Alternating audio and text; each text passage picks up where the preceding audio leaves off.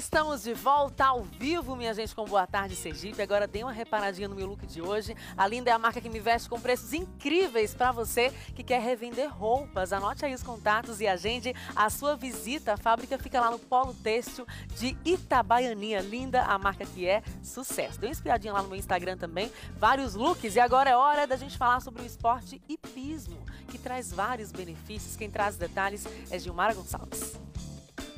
Vida Fitness. Oferecimento. Florlin Fashion Fitness. Coleção Metamorfose 2018.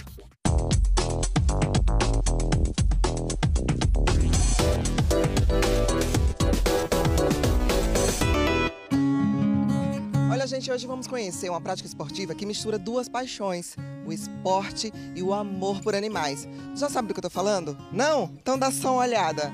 Só tô vestida de Amazona, então agora ficou fácil, né? É isso mesmo, vamos falar sobre o hipismo. Gente, é um esporte que, olha, além da mente, além dos benefícios como a postura, ele trabalha, acredite, em meia hora de aula, cerca de 1.800 ajustes tônicos e contrações musculares. Yuri Conde, então a gente sai daqui de perna bamba, é isso mesmo? É verdade, meia hora de aula é como se fosse um, uma academia assim bem puxada mesmo, pra, principalmente para quem não está acostumado é, em montar cavalo e fazer os exercícios da equitação.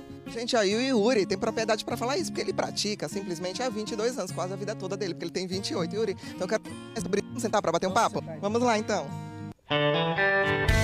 Yuri, mas quem é que pode praticar o hipismo? Então, não tem, não tem assim nada que impeça alguém praticar. A partir dos 3 anos de idade é, já pode fazer as aulas. E no início temos o Baby Class, que são para criança, aula lúdica e depois a gente vai para a parte da equitação mesmo, voltada ao salto aqui no Centro Hípico Atlântico. Tá vendo aí? Se você achava que isso não tinha aqui em Aracaju, a gente tem sim. Mas Yuri, então tenho certeza que quem está em casa está na dúvida como eu. Me fala um pouco sobre as categorias, tem provas e como é que a gente evolui para chegar até ser profissional mesmo?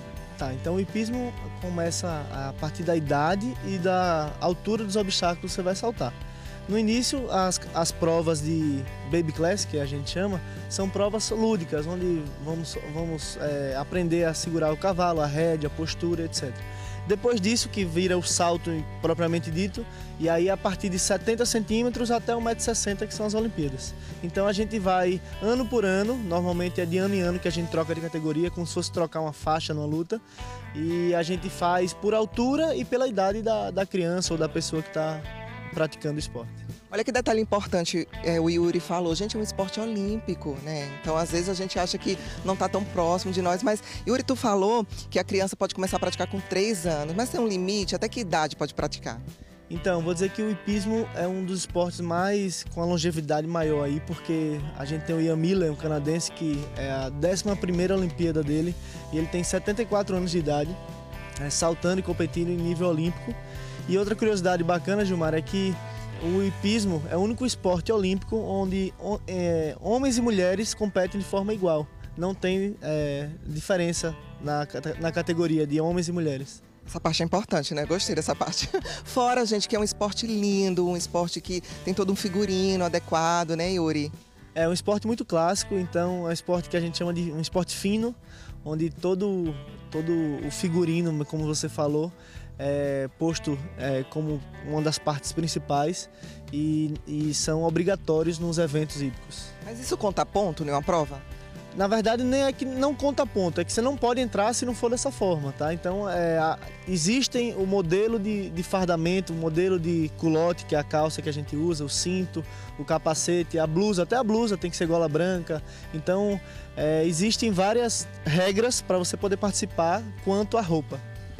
E os benefícios são, são muitos e acho que todo mundo ganha com isso. Ai, gente, eu não quero conversar mais não, eu já estou muito ansiosa, Yuri, eu quero aprender, você me ensina? Vamos lá, hoje vai ser a primeira aula de Gilmara, vamos botar ela para para trotar e tentar galopar no primeiro dia de aula. Eu só quero dizer que tem muito tempo que eu não monto, viu, Yuri? Vamos com calma. Hoje vai ser com calma, mas ao mesmo tempo puxado. Vamos lá então.